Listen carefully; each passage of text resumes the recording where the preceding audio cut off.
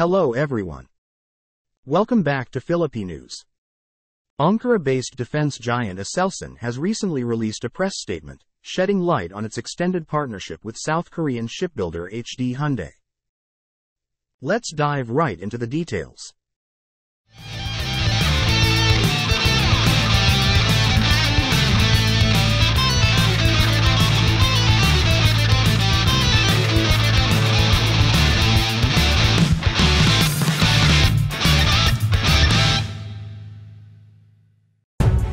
The company confirmed the signing of two international sales contracts between the two nations, though discreetly omitting specific details.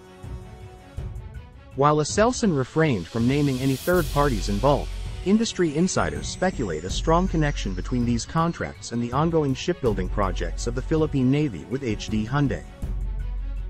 The South Korean shipbuilder currently holds the exclusive export shipbuilding contract with the Philippines, focusing on the corvette and offshore patrol vessel acquisition projects.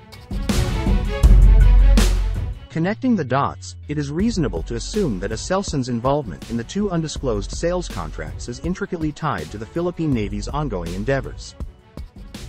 The speculation suggests that Aselsan will be supplying two Gokdeniz 35mm close-in weapon systems for the HDC 3100 corvettes, equipping each ship with this advanced defense mechanism.